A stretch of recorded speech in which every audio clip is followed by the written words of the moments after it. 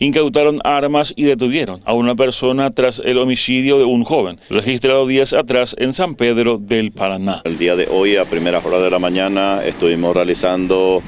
eh, tres allanamientos simultáneos en prosecución a la investigación del hecho de homicidio que resultó en fecha 4 de abril del corriente año,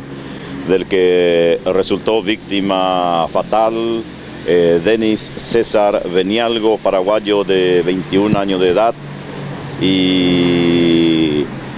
en prosecución a ese hecho estuvimos realizando trabajos investigativos y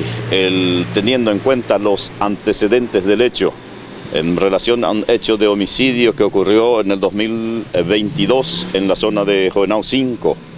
en donde resultó víctima fatal el ciudadano Milcia de Vera Méndez. Y del hecho de ese homicidio se les indicó como supuesto autor a Darío Benialgo, hermano de esta de este víctima fatal eh, de nombre Denis César. Entonces, a raíz de esos antecedentes y el trabajo investigativo eh, realizado por personal de este departamento, realizamos el procedimiento de allanamiento donde eh, incautamos pistolas con varios cartuchos, aparatos celulares DVR y también con resultado de detención de una persona de nombre Francisco Hidalio Mesa, paraguayo mayor de edad,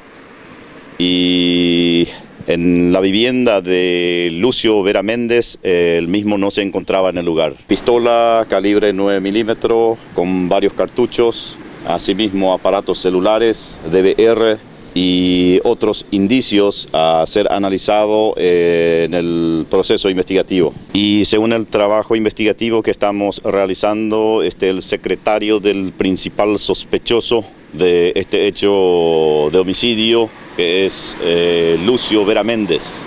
Entonces, eh, a raíz del trabajo investigativo, las evidencias encontradas, la Fiscalía dispuso la detención de esta persona, quien también se encuentra con varias prohibiciones por un hecho de homicidio y, también robo agravado en Itapúa. Y según los antecedentes,